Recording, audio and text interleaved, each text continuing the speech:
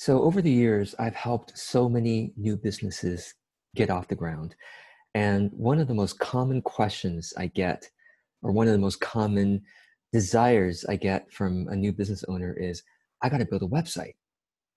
And over the years, with a lot of experience now, I can tell you that building a website is not a good first step. In fact, I recommend that you delay the building of your website for as long as possible, years if you can. So let me explain why. When you try to build a website in the beginning of your business, and, and let me just clarify, I'm talking to the majority of my audience here who are service based business, solopreneurs without a team.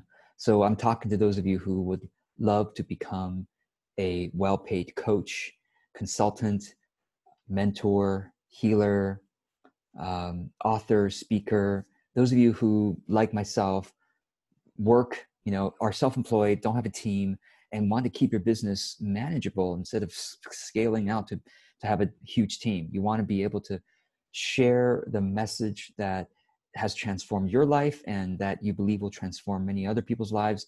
You want to be able to use the modality that you've been trained in or that you created to help people.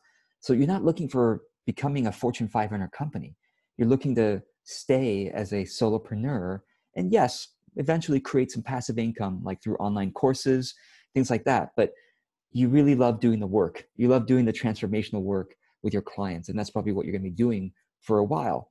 You know that's going to be your focus for a while. So please don't feel the pressure of building a website yet. And in fact i, I like i said i don't think it's a good idea to build a website in the beginning. I'm going to tell you why couple reasons. One is that to build a website means that you need to have clarity about your niche, about your message, about your brand. Okay. And those three things you think, well, okay, all right, let me just hire a coach to help me clarify my niche, my message, and my brand. Really? That's that's what you think. That makes sense, right? Oh, of course, George. You start off, you you get your niche clarified, who your target audience is, what the messages you should share with them, what your logo is, is like, or what your color scheme on your web. That makes sense from the from like from someone who's not very experienced in business. That makes sense, or from someone who is starting a larger business. That makes sense. For those of us who are just starting out, the problem is you don't yet know what the market wants from you. You think you know, or you think you can figure that out by working with a coach or by reading a book and journaling about it. You can't let me explain you, to you what the market is. The market is the spend the expenditures, the spending of other people. That's your market. So if I spend money, the money I spend, if some of that goes to a service like the one that you want to provide to me, then my money spent on that service is your market. You get you're trying to capture some of the dollars I spend to, to spend with you instead. That's what marketing means. It means to understand what people are spending money on and then creating your version of what they're spending money on that you believe you're qualified and passionate to to to to uh, be an alternative for. Does that make sense? So in the beginning when you're creating your niche and your message and your brand you are doing this in complete isolation of your understanding of what the market actually is. Okay so that's number one and and you're going to take a long time. You're going to take months maybe even longer than months to try to figure out your niche, your message, your brand, probably with a coach that may charge you thousands of dollars. And yes, that coach may do good work for sure. And you might feel really good that, oh my gosh, I've got my niche clarified. I've got my message and my and my brand and everything. And then you'll get out there and then you'll realize, oh my God, I thought I was going to serve this group doing this. And no, it, almost certainly your first guess at the, the group you're going to serve, the type of people you're going to serve, and doing what for them, almost certainly that's not going to be what happens after a few months or the first year or two. You are going to evolve your service as you come in contact with real people and try to help them with the things that they really want help with. So, number one reason why not to build a website as, as a starting a business is that you are trying to figure out things that you have no qualification to figure out until you start talking to a lot of people Okay. So, so number one, okay. Number two is if you build a website, you either have a small budget and you're going to build, unfortunately, a bad looking website. I have seen so many people with just bad looking websites that I'm like, first of all, you, you, your niche is probably not correct because you haven't talked to enough people and actually try to do enough marketing and selling. So your niche is probably wrong. And you've built this website that doesn't look that great because you have a small budget. Okay. Or, like I said, if you spend a lot of money with a coach and with a graphic designer and with a copywriter, and you spend months or a year building that wonderful looking website, you're going to find out as you encounter the first hundred prospective clients that, oh my gosh, I'm totally off, off track with my message, with my brand, with my niche. I have seen this so many times. People spend thousands, sometimes even tens of thousands. And guess what? I know this because before I started this business, I was in the business of selling those expensive branding and website packages.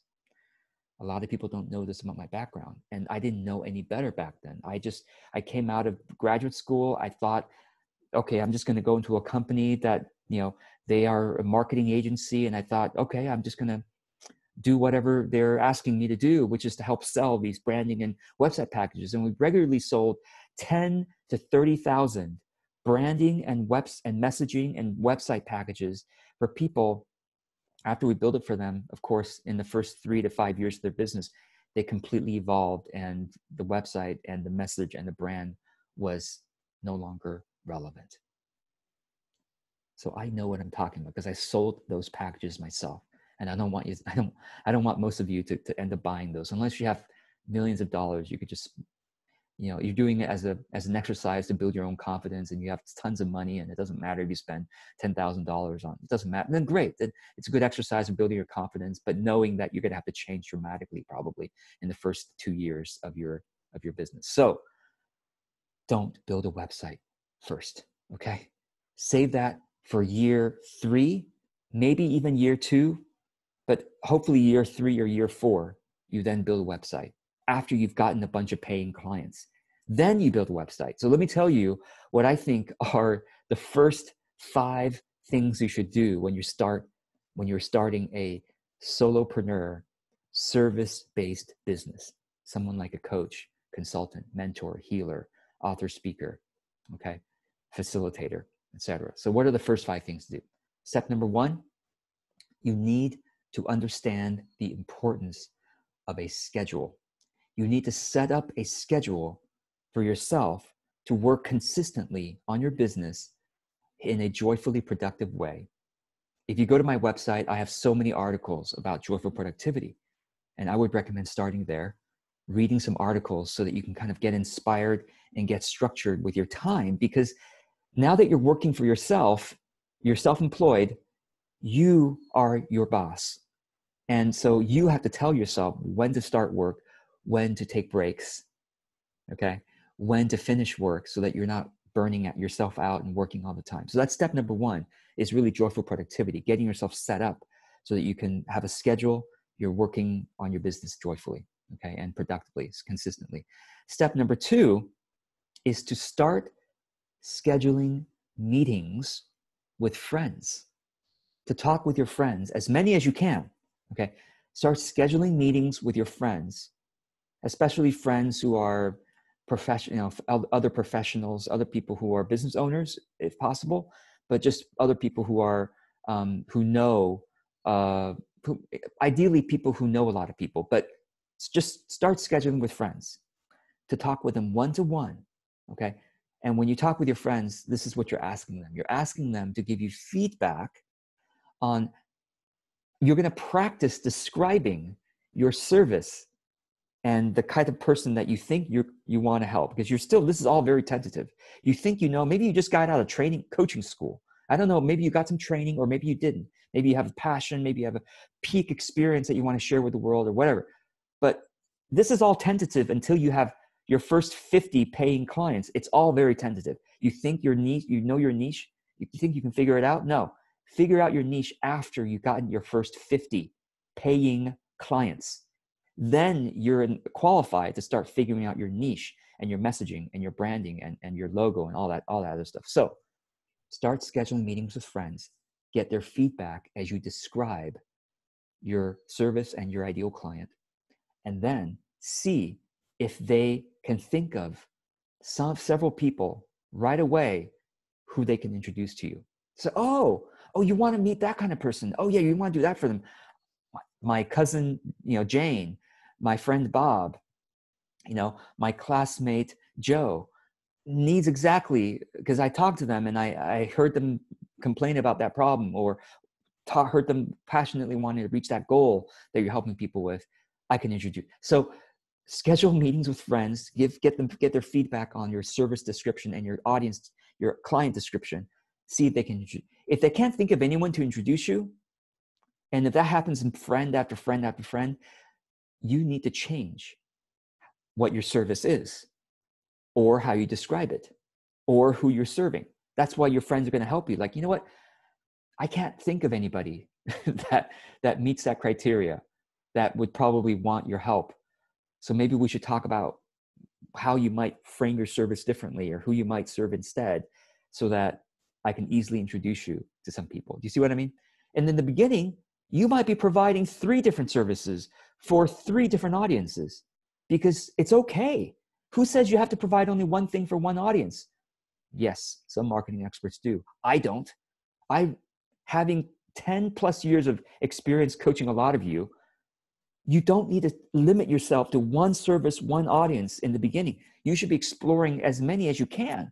So if your, your friend can't figure out who to introduce you to, say, well, let me let me let me choose let me share with you another service I'm thinking of providing because I'm, st- I'm just starting out and I can provide different things. And my, my business is going to go in a direction where there's a market.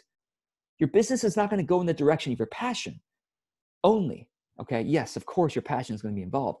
Your business is going to go in the direction of the intersection between your passion and the market. It's not just your passion.